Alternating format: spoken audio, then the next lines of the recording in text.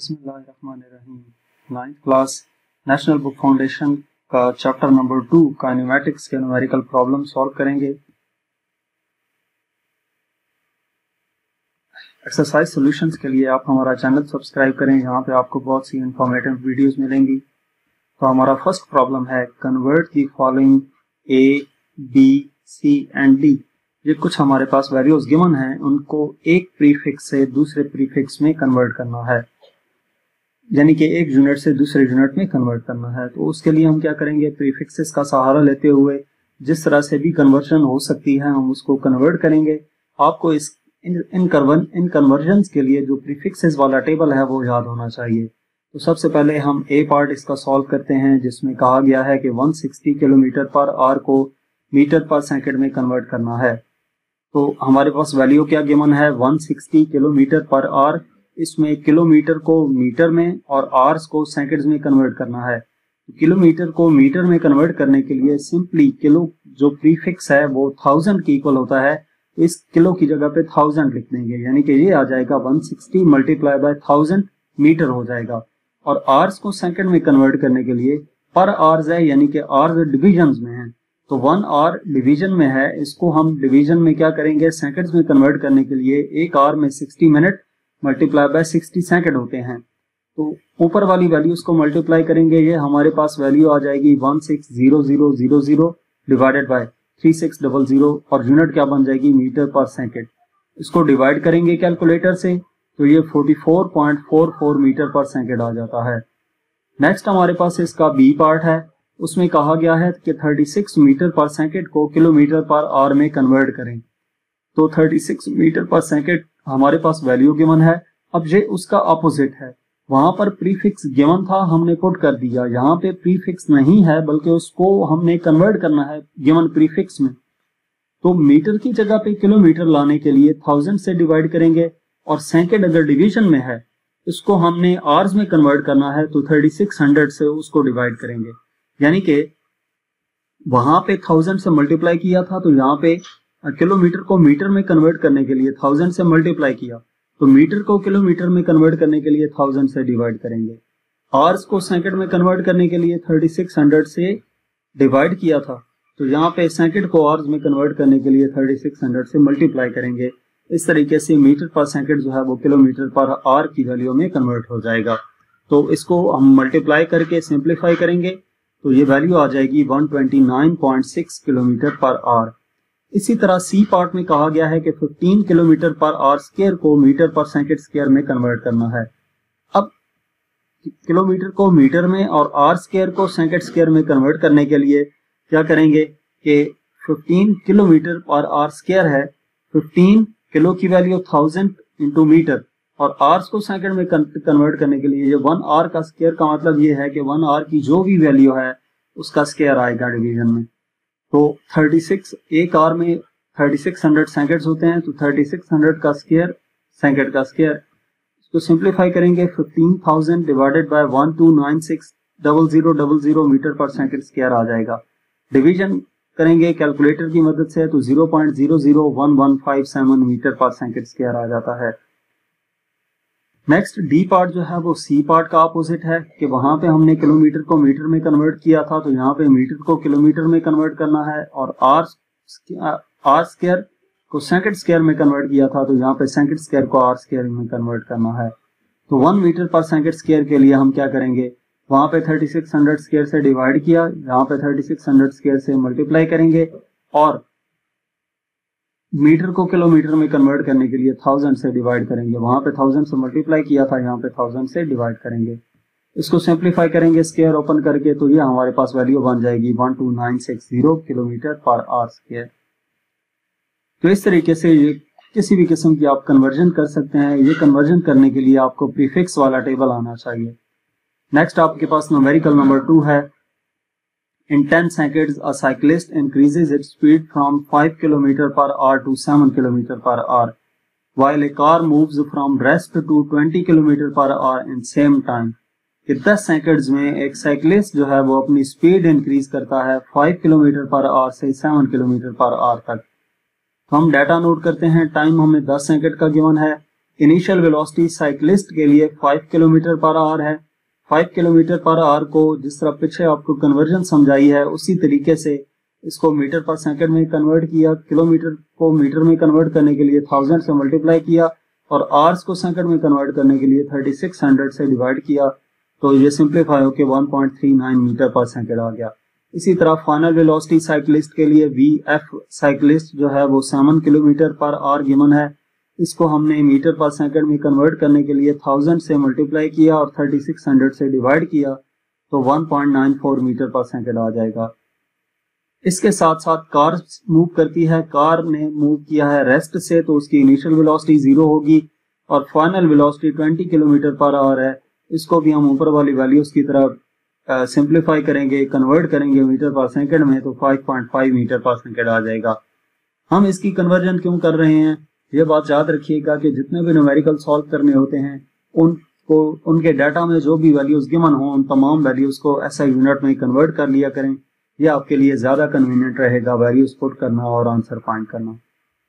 तो कहा का गया था कि calculate the acceleration of each यानी कि acceleration of the cyclist and acceleration of the car calculate करना है। और इन दोनों में से किसका एक्सेलरेशन ज़्यादा है, वो भी हमने बताना है एंड पे। तो इसका सोल्यूशन हम देखते हैं। एक्सेलरेशन हम कैलकुलेट करने के लिए एक्सेलरेशन का फॉर्मूला अप्लाई करेंगे.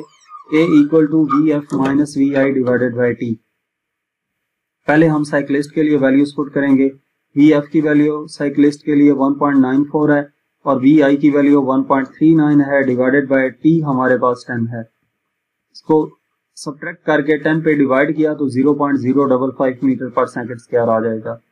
इसी तरह कार के एक्सलेशन कैलकुलेट करने के लिए हम दोबारा यही वाला फार्मूला अप्लाई करेंगे एक्सलेशन का। A equal to V F minus V I divided by T car के लिए वी एफ़ की वैल्यू 5.5 है वी आई की वैल्यू ज़ीरो है डिवाइडेड बाई 10 किया। इसको सिंप्लीफाई करेंगे तो ये एक्सलेशन आ जाएगा 0.55 मीटर पर सेकंड स्क्वायर अब एंड पेन दोनों के बारे में बताना भी था कि विच हैज़ ग्रेटर एक्सलेशन किसका एक्सलेशन ज़्यादा है। तो हम इन दोनों पे गौर करें तो कार का जो एक्सलेशन है वो साइकिलिस्ट की नस्बत ज़्यादा है। इसके बाद न्यूमेरिकल नंबर थ्री है। A ball is thrown straight up such that it took two seconds to reach the top after which it started started falling back एक बॉल है जिसको ऊपर की तरफ़ थ्रो किया गया है और वो दो सेकंड्स में हाईएस्ट पॉइंट पे पहुँच जाती है। जिसके बाद वो नीचे आना शुरू होती है। तो कार की इसकी बॉल की इनिशियल स्पीड क्या थी, वो हमने कैलकुलेट करनी है। तो सबसे पहले हम इसका डाटा नोट कर लेते हैं। डाटा में हमें क्या गिवन है? Ball is thrown straight up two seconds यानी कि टाइम हमें गिवन है टू सेकेंड्स का to reach the top after which it started back top पे पहुंचेगी तो इसका मतलब यह है कि जब वो टॉप पे पहुँचती है तो उसकी जो फाइनल वेलोसिटी है वो ज़ीरो हो जाएगी। क्योंकि हाईएस्ट पॉइंट पे पहुंचकर ऑब्जेक्ट जो है वो कुछ देर के लिए रुकता है। जब रुकेगा तो फाइनल वेलोसिटी ज़ीरो हो जाएगी। उसके बाद वो वापस आना शुरू होती है। तो हमने वो स्पीड फाइंड करनी है जिस स्पीड से बॉल को ऊपर की तरफ़ थ्रो किया गया था, यानी कि इनिशियल वेलोसिटी उसकी कैलकुलेट करनी है। जी की वैल्यू हमें मालूम है 9.8 मीटर पर सेकंड स्क्वायर होती है। यहाँ पे नेगेटिव वैल्यू इस वजह से ले रहे हैं कि बॉल को नीचे से ऊपर की तरफ़ थ्रो किया गया है। जब ऑब्जेक्ट नीचे से ऊपर की तरफ़ थ्रो करेंगे तो जी की वैल्यू नेगेटिव होगी और जब ऊपर से नीचे की तरफ़ थ्रो किया जाता है या ऑब्जेक्ट खुद ब खुद नीचे की तरफ़ गिरता है तो जी की वैल्यू उस वक्त पॉजिटिव दी जाती है। तो सोल्यूशन हम इसका देखते हैं। इनिशियल वेलोसिटी कैलकुलेट करने के लिए ये जो हमें वैल्यूज़ गिवन है टर्म्स गिवन है इनके मुताबिक फ़र्स्ट कंडीशन ऑफ़ एक, फ़र्स्ट इक्वेशन जो है वो हम यूज़ करेंगे। V F equal to V I plus A T इसमें वी एफ़ की वैल्यू ज़ीरो गिवन है वी आई कैलकुलेट करना है acceleration minus nine point eight है टी की वैल्यू टू है। इसको सिंप्लीफाई करें, ये वैल्यू माइनस में आएगी दूसरी साइड पे जाकर प्लस हो जाएगी तो हमारे पास आंसर आ जाएगा। V I equal to nineteen point six metre per second यानी कि उस बॉल को ऊपर की तरफ़ थ्रो करते वक्त, जो कि दो सेकंड्स में हाईएस्ट पॉइंट पर पहुँच जाती है उसके लिए initial velocity 19.6 metre per second होनी चाहिए। इसके बाद नेक्स्ट प्रॉब्लम नंबर फोर है।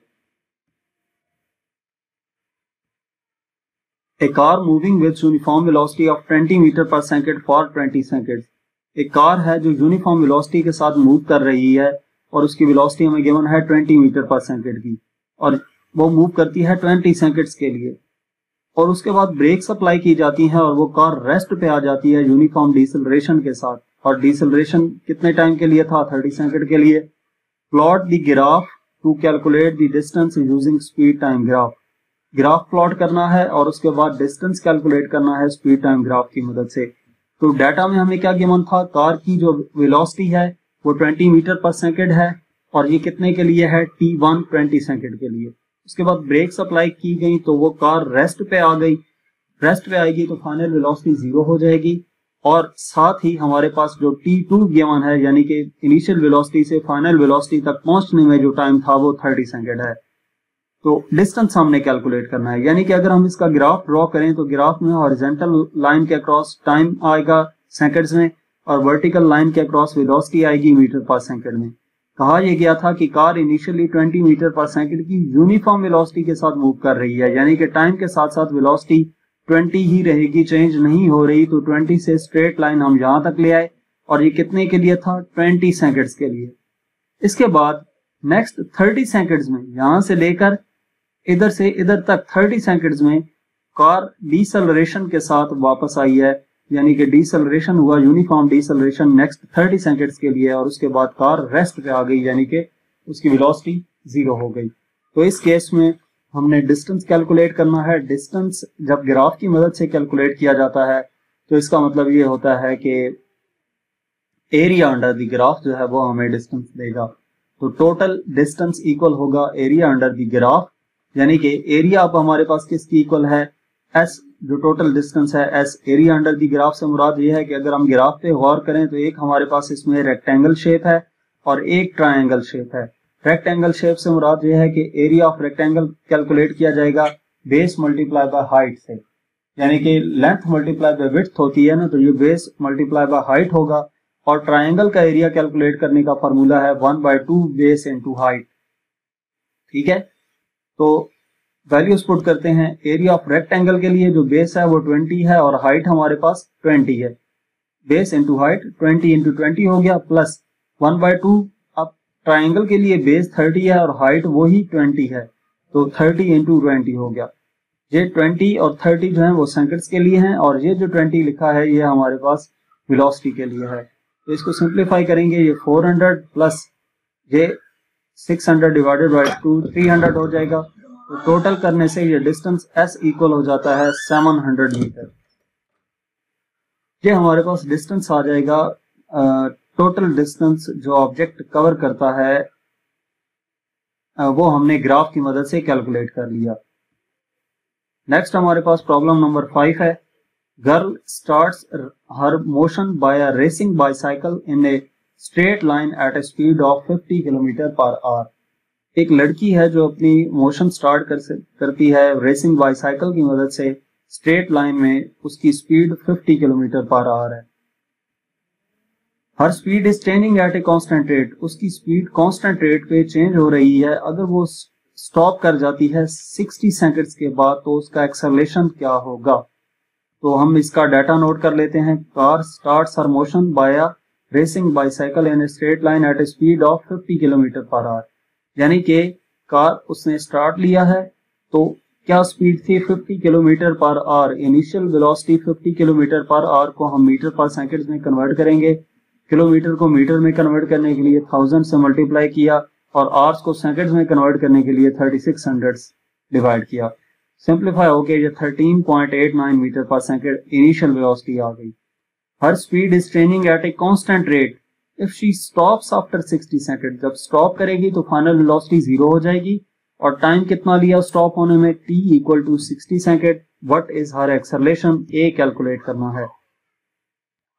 तो इसमें भी हम first equation of motion use करेंगे सिंपली या फ़र्स्ट इक्वेशन ऑफ़ मोशन की मदद से जो एक्सेलरेशन का फॉर्मूला निकलता है, a equal to V F minus V I divided by T वो हम यूज़ कर लेंगे। तो उसमें वी एफ़ वी आई और टी की वैल्यूज़ पुट करेंगे। वी एफ़ की वैल्यू हमारे पास गिवन है ज़ीरो वी आई की value thirteen point eight nine है और टी हमारे पास सिक्सटी है। इसको हम कैलकुलेटर की मदद से डिवाइड करेंगे तो एक्सलेशन आ जाएगा minus zero point two three metre per second square यही एक्सलेशन हमने कैलकुलेट करना था। अब इस एक्सलेशन में नेगेटिव साइन का क्या मतलब है? तो नेगेटिव साइन का इसमें मतलब ये है कि नेगेटिव साइन ये शो करता है कि कार की स्पीड डिक्रीज हुई है, यानी कि डीसेलरेशन था। और वही हमें यहाँ पर बताया भी गया था कि डीसेलरेशन है स्पीड चेंज होती है कांस्टेंट रेट के साथ तो स्टॉप कर जाता है 16 सेकंड में। स्टॉप करने का मतलब यह है कि स्पीड डिक्रीज हुई। स्पीड डिक्रीज होने की मतलब यह है कि डीसेलरेशन हुआ तो ये नेगेटिव साइन हमें डीसेलरेशन ही शो कर रहा है। इसके बाद नेक्स्ट हमारे पास प्रॉब्लम नंबर सिक्स है। Consider the following speed time graph speed time graph एक बताया गया है और उसमें ये कहा गया है कि which part of the graph is showing acceleration deceleration and zero acceleration ठीक है? ये ग्राफ दिया गया है क्वेश्चन में और इस ग्राफ का पूछा गया है कि कौन सा पार्ट जो है वो एक्सलेशन शो कर रहा है, कौन सा डिसलरेशन शो कर रहा है और कौन सा ज़ीरो एक्सलेशन शो कर रहा है। और उसके बाद बी पार्ट में हमने कैलकुलेट करना है cover distance from 10 seconds to 20 seconds from the graph 10 second से 20 सेकंड्स में कितना डिस्टेंस कवर हुआ वो भी कैलकुलेट करना है। तो पहले हम ए पार्ट सॉल्व करते हैं, जिसमें ये कहा गया था कि एक्सरलेशन कौन सा पार्ट शो कर रहा है। तो ए पार्ट की अगर हम बात करें, इसमें ओ ए पार्ट जो है, इसमें टाइम गुजरने के साथ साथ स्पीड इंक्रीज हो रही है तो इसका मतलब ये है कि ये हमें एक्सरलेशन शो कर रहा है। जब टाइम के साथ साथ स्पीड इंक्रीज हो स्पीड में चेंजिंग आए वेलोसिटी में चेंजिंग आए तो उसको हम एक्सरलेशन का नाम देते हैं। तो ओ ए पार्ट हमें एक्सरलेशन शो कर रहा है। उसके बाद अगर हम बी सी पार्ट की बात करें डिसलरेशन की बात की गई थी कि डिसलरेशन कौन सा पार्ट शो कर रहा है तो बी सी पार्ट की बात करें तो यहाँ पे बी पार्ट पे वेलोसिटी 50 मीटर पर सेकंड थी और सी पार्ट पर ज़ीरो हो चुकी है, यानी कि 50 से ज़ीरो की तरफ़ जाते हुए स्पीड डिक्रीज हुई है। स्पीड डिक्रीज होने का मतलब यह है कि डिसलरेशन है ये तो ये B C part deceleration show कर रहा है। इसी तरह ज़ीरो एक्सलेशन कौन सा पार्ट है? जो ए बी पार्ट है ए से बी तक वेलोसिटी जो है वो 50 मीटर पर सेकेंड ही है, वो चेंज नहीं हो रही।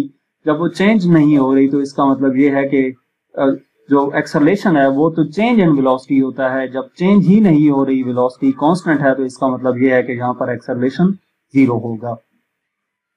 उसके बाद बी पार्ट हमें कहा गया था कि डिस्टेंस हमने बताना है 10 से 20 सेकंड्स में कितना डिस्टेंस कवर हुआ। डिस्टेंस का फॉर्मूला होता है वेलोसिटी डिवाइडेड बाय टाइम तो हम यहाँ पर वही फार्मूला अप्लाई करेंगे, यानी कि डिस्टेंस इक्वल होगा एरिया अंडर ए बी ठीक है? एरिया अंडर ए बी यानी कि इस ए बी के अंडर जो एरिया आ रहा है, ये रेक्टेंगल हमारे पास बनती है। इस रेक्टेंगल का एरिया अगर हम कैलकुलेट कर लेते हैं तो डिस्टेंस आ जाएगा। एस इक्वल आ जाएगा एरिया ऑफ़ रेक्टेंगल यानी कि एरिया ऑफ़ रेक्टेंगल में लेंथ जो है वो 50 के मन है ज़ीरो से 50 तक लाइन है डिवाइडेड बाय जो बेस गिवन है वो 20 माइनस टेन ये यहाँ से लेकर यहाँ तक टोटल डिस्टेंस 10 बनता है टोटल टाइम 10 बनता है तो 50 इंटू टेन ये हमारे पास आंसर आ जाएगा 500 मीटर तो 10 से 20 सेकेंड्स में जो इस कार ने डिस्टेंस मूव किया है वो 500 मीटर का डिस्टेंस है। तो यहाँ तक इस चैप्टर के न्यूमेरिकल प्रॉब्लम्स थे। मजीद किसी भी चैप्टर की एक्सरसाइज का सोल्यूशन देखने के लिए आप हमारा चैनल विज़िट कर सकते हैं। इसके अलावा अगर आप किसी भी सब्जेक्ट की ऑनलाइन या होम ट्यूशन पढ़ना चाहते हैं तो हमसे व्हाट्सएप पे कॉन्टेक्ट कर सकते हैं। Thank you